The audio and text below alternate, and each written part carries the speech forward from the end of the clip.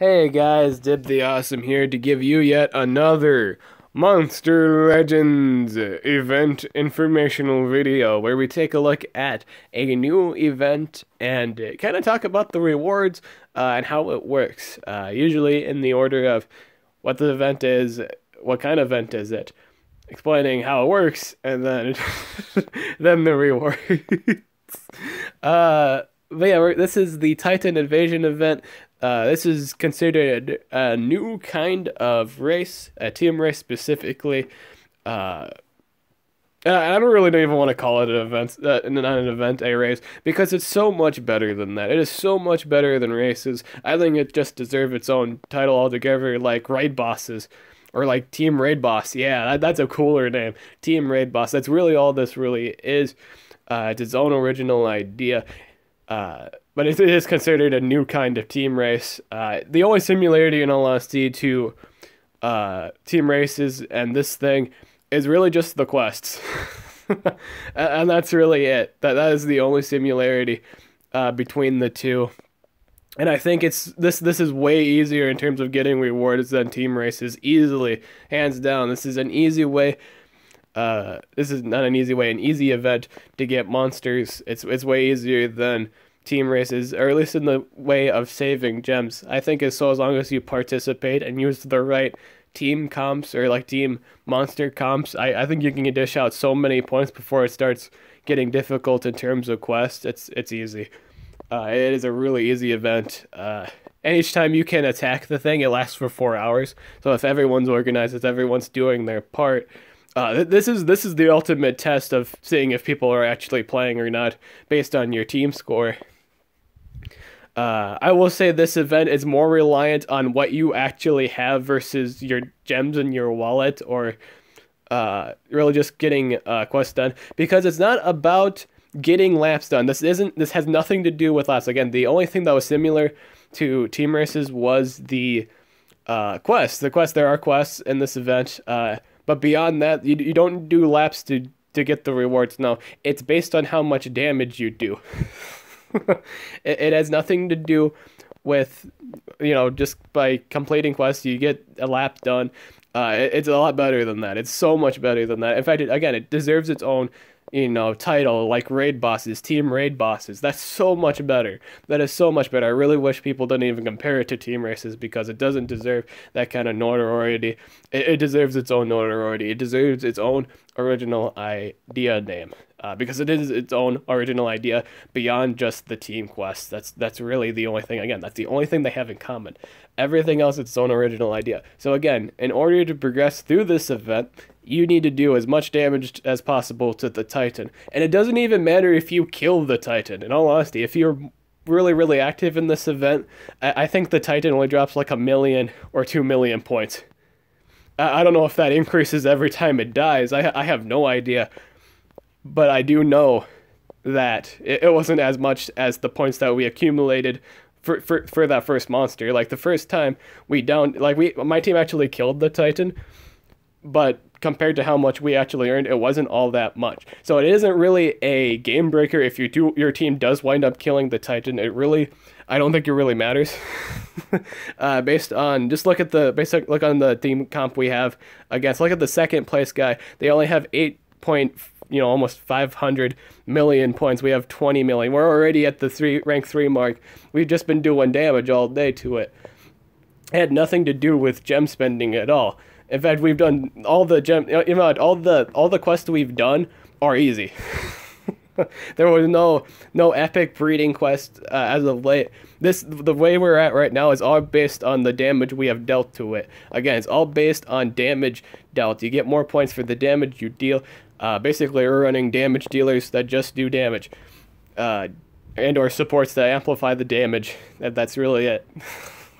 it matters on participation and I will say if you have extra copies of a really good monster like Totem, for example, this event is very ideal for you. You will get so much points if you have a bunch of totems. If you use just like a totem, an attacker immune to possession, you, you will do just a phenomenal job in this event. It's easy.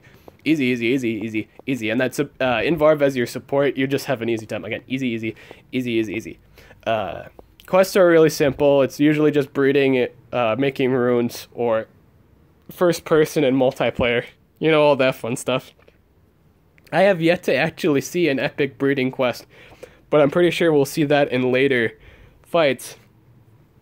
And the thing with that is, by that point, in honesty, by that point, we, we will have so much points that we, we won't have to do it because they're so far behind uh, in terms of points at the moment. I, I, I suppose it, there's still plenty of time to, to get points. I'm just saying it seems unrealistic that they'll catch up at this point. We're just too far ahead in points. Our team is too uh, is too active than all the other teams to get ahead. I, I could say that's a that's a thing people don't like about this event. It's based on not only participation, like actual participation, which is what a team you know team event is. it's participation, uh, but this one really sells it. Uh, where team team effort is a thing. You need to be on this game to get anywhere in this event. You need to help your team out. That's how this event works. This is an this is a legitimate team effort event. This is this, you need to be here. You need to do attacks. You need to attack this every time the attack budget has been hit. Uh, it's stressful. it is honestly stressful because you've been beating on this monster for hours, and it's it's a lot of fun. It's addictive. It's fun. It's fun fighting this thing. You're fighting it with friends, and you're doing damage to it, and it's so much fun. So incredibly fun. Uh, I'm gonna start talking about how incredibly fun it is, and just you guys want to learn just how to do it. Again, uh, you just want you just straight up you want to do a bunch of damage. That's the main thing. So if you have things like Barbatos, uh, Razul isn't too ideal because he does damage to himself. But if you can find monsters that kind of make up, can kind of heal up that damage and be okay with that, uh, that's that's all right. Uh, but mainly you just want damage dealers. Damage dealers and if you're not running a full team of damage dealers, run like a totem in Varv and uh, you know, a damage dealer into possession because if that damage dealer gets possessed while having totem buffs, you're gonna die. you, you straight up lose all your progress and it's it's bad. I, I did that a while ago and that's why I, I can't really show it in this video, but uh, it's not a good idea to have your attacker not be immune to possession. It's, it's not a good idea. Uh, but ideally, for this event specifically, you want something that's immune to possession. You do not want it to be, you know, you don't want anything to be possessed. It's really bad for you.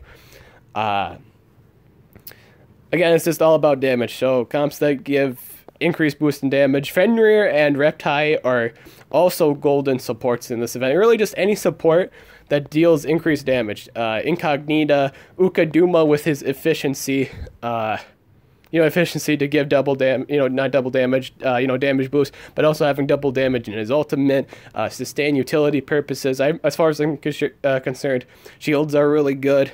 Uh, the warrior is really good on this event. Atlas is really good. Anything that taunts, anything that can keep anything off that you need is really good. Uh, so things that give immune to possession and immune to dark damage, especially Joustar and Scrap, are really good saviors in this event. They make you immune to dark damage, they make you immune to his ultimate, which is huge. The ultimate of this monster will kill you if he does it. that's that's what it's designed to do. It's kind of like their way of saying, all right, you've done you've done all you that you could. Now we're just going to squash you. But there's really a way to safeguard against that, and you can just keep attacking it uh, for the rest of that 10 minute mark. Each fight you do is 10 minutes, and there's really no cooldown. Uh, uh, there's a cooldown on your monsters, but you can attack them, attack it as much as you want and get as much points as you want. And that's again another thing what people are kind of upset about is the fact you have to keep attacking it to get anyway. But in all honesty, that's the event. That's that's what you do, and it's fun. it's fun. It's not like team, like regular team races, like where you get angry, is like oh someone complete the node. That's really that's really not like it in this event. It's really not about completing quests. It's not about completing nodes. There, there are no nodes. I don't even know why I said nodes. There are not, there are not any nodes. There's this quest. You know how in team races where they usually just complain about, oh, somebody complete the node, you know, skip the node. There, there is none of that here. there is only quests. There, there are no nodes. Once you once you complete all the quests, you attack for four hours. You don't even have to see another quest for four hours. It's lovely. All you see is this majestic giant beast that you're trying to kill, which which sounds messed up, but that's that's the actual realization of it. You're trying to kill something with the life of a god, uh, which it is. It's a, it's a space god. Uh, so let's talk about the rewards right real quick. Uh, this is uh, IOFX or uh, Ninefex or something. Uh, I like to call him Beefalo because that's what's his original name.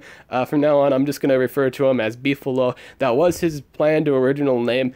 Uh, it was leaked like for weeks, and people were upset that they changed it because it was such a good name. It was an extremely good name, and they just changed it. Uh, so I'm going to call him Beefalo. Beefalo here is pretty alright and pretty awesome in the competitive scene because he is in the Dragon book, he's in Evil Legion book, and he's in the superhero book. I think that's huge. he is in the superhero book, and I think that's huge. And I think the, the Dragon book too. It's really important that he's in the Dragon book because that way he can counter Montezuma. Mountain Zuma is a really good monster in the game at the moment. And to have a counter for him is nice. It is really nice. Like, I don't have Montezuma obviously, so I, uh, Montezuma could counter a Montezuma. But I don't have a Montezuma, so everything's just terrorizing. Uh, you know, Montezuma is just terrorizing all my defense teams. This would be a good thing to put on defense. It's really good. Uh, it has extra turn skills, uh, damage boost, access to recovery, life regen, self buffs, uh, AoE, special base damage. I I don't remember if he had life steal. Uh, but he had an AoE possession. Uh, I guess you could say really basic stuff, but they're really fun stuff. This monster is a bunch of fun. This, this thing is nothing but fun. It's fun fighting it. It's fun, eh, you know, getting it. It's going to be really cool having it. And it's just a really cool design monster. It's really, really cool. That's all I have to say. That's, that's like the whole event. It's cool. It's new. It's fresh. It's really awesome. uh, I think his I think his possession was the ultimate. I, I, I don't think so. I think that was a regular skill actually, and I think his ult. I don't know what his ultimate does. I, I honestly don't know. Uh, but it's a lot of fun. This monster is nothing but fun. Its base stats are also exceptionally well too. I I don't think they're too broken, but they're all in the 30, 30ks, and that's really good. That's nothing but good. You know, like at least they'll have three three thousand for the power. You know, around the three thousand it was like uh, 3,454 for the attack, I think, or what's the the speed. But either way, or it's again still a really good monster. It's really really good. Uh, I don't exactly remember the base stats too much, but I know they were well rounded and really good. Especially if you're getting this at rank three. Uh, well, you're also getting this, you know, for the second place reward, and also the reward that you also get additionally with first place is a rank 2 Cryotan. Now, a lot of people have this at rank 3. This was a recent team race monster, and a lot of people are kind of upset of getting this because they already have this. It, there's no point because they have the rank 3. There is a point, and it's actually valuable that you do get another one because you can either A, get that boy to rank 4, or you have another Cryotan. that, that's the that's the you know the situation. Uh, personally, for me, if I had another cryo, if I already had a cryotan rank three and I was getting another one, I would save this one. I, I would save it for you know attacking purposes. I'd have another cryotan on me. Cryotan's really good at denying uh, mega AOE mega freeze freeze for two turns on AOE scaling. That's stupid. that, that, that's stupid. That's that's really good. Uh, you can choose to get this to rank 4, obviously, for increased uh, survivability on defense. Like a rank 4 Cryotan can easily survive longer than a rank 3. Uh, but I, I would just I'd just save it. I would just save you know both of them. Uh, I would I'd use both of them. I'd have another cryotan on me for offensive purposes, and I think that's lovely but I, I don't have a cryotan. Me personally, I don't have a cryotan, so to see a cryotan available to me is really nice. I, I do appreciate that. It is really lovely. Uh, and to get that as a second reward is really not that bad either. This is a good defense monster. Run a stamina and two speeds and you're solid. It's just a really good monster. Uh, it, do, it does apply self buffs to itself and it does get increased benefits with its self buff because it applies like like for example, double life. It has like a double life, uh, fifty percent shield, I think, or was it one hundred percent shield? And I, I think it goes like when you use the when you use it, you get the double life, and then and then the shield applies. So it, it gets it gets a you know good sustain, given the fact if your opponent allows it to sustain. It's got a good survivability. Uh, he has an insta kill freeze, uh, like after three turns. Uh, the person dies, but those first two turns that don't exist to him, it's a mega freeze, insta kill skill, really good. Uh, he's got taunt. which is amazing. He's got a extra turn stamina refresh skill, so it's really hard to drain this man completely. It's really hard to get him not to use his uh, AoE Mega Freeze on you if they're building a stamina speed and another speed. It's really hard to do that. He's a really good denier at the moment because of that. He's also immune to freeze and stun, which are the common denies in the game. Most common ones anyway, and he's immune to both of them. So only possession really, really bothers him. Uh, but he, again, he has that extra turn skill, and he has like a like two like you know two other self skills. Uh, so the maximum of three self skills if you if you choose to build all three, plus is you know either his AOE or insta kill, just ridiculously good.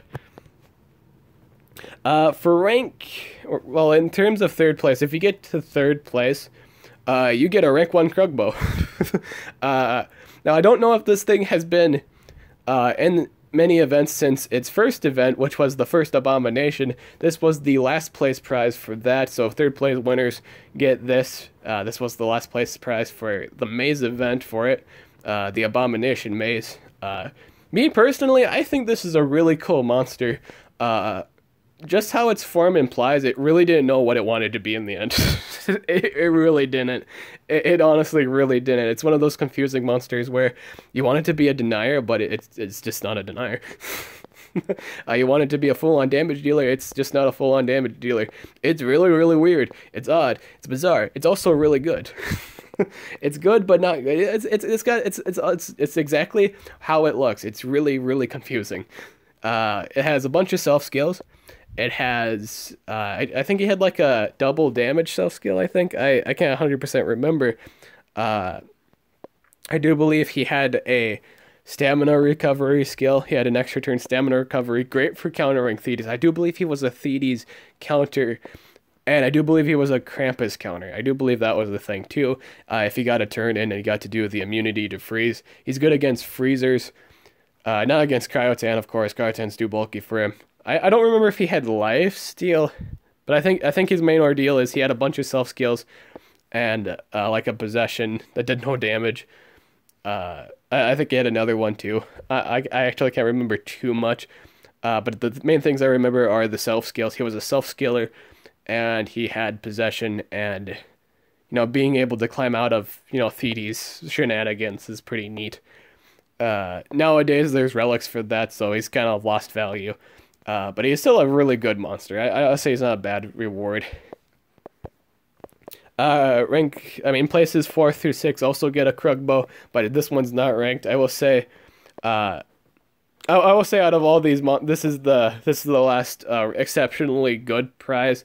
Uh, Oxtec is alright, but compared to everything else, it's it's that's meh. I mean, but it is still a good monster. I will say it's way better last pro. You know, it's a way better last place prize than uh, Apex. Way better. Remember that team ra- last team race with uh, last place being like Apex? Yeah, this Oxtec is a thousand times more useful than Apex. Easily, easily, easily, easily. Uh, I'm just saying, like he's not as good as the other monsters given because all these monsters like th- this one has a you know abomination this one has mountain and again this one has abomination too they're just really good defensive traits this one doesn't have a bad defensive trait either you know i'm kind of making it sound like this thing is really bad but he's really not all of his skills are spammable uh, as far as I'm concerned, he's one of the few monsters in the game that has spammable. All of his skills can be spammable, so cooldown's activation does nothing against him. Uh, he has DOT potential. He has uh, the magnetism spiel. I think those are the only things that actually have cooldowns are his AOE's. Yeah, those are the only things that have AOE's. You know, cooldowns are his AOE's. All of his single target skills are spammable. Spammable. He's able to refill his stamina so he can keep attacking, and he gains precision while doing that. Uh, he has single target bleeding, single target burning. Uh, personally, I run him with the stamina recharger, the single target bleed, the single target burn, and the AoE uh, metal damage skill that's 45 metal based. Uh, he was the last monster in the futuristic event. I do believe he was either the, I think he was the, I think it was the last one. He could have been the first one or the last one, but uh, he was really good regardless. Second to last, I, I'm not 100% sure. But regardless, he was pretty good. Uh, and that's that's it for the event. In terms of what you get, uh, overall, I will say, regardless of what place you get, you are getting something good. I, I will say that much. Uh, due to the fact we're getting a lot of cooldown activators, Uh, this isn't a bad monster. I, I still believe Oxtec has relevance in the meta. Uh, he's got good spammable skills and good utility. Krugbo, while he's really odd, he does have cool, uh, cool abilities that can be used offensively. Uh, Cryotan, Cryotan's Cryotan. Cryotan's extremely good, uh, especially you're getting this at rank 2 when you get him. And then first place, you're getting both that and the Beefalo, which is extremely good at rank 3. is it's really good. Uh, extremely, extremely good. Regardless of what place, again, regardless of what you play, so as long as you just get you know, so as long as you get passable, which 2,000 points is easily, easily, easily passable, you're getting a monster. You're getting something done. And I think that's amazing. So yeah, that's everything I really need to say for this event. I'm Dib the Awesome. I'll catch you guys later.